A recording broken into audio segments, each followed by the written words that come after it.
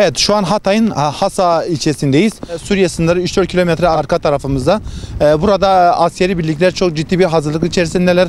E, Afrin operasyonu için bütün hazırlıklar zaten günler içerisinden yapılmıştı. Bölgeye sevkiyatlar yapılmıştı. Bugün Zeytin Dalı Harekatı'nın dördüncü günündeyiz.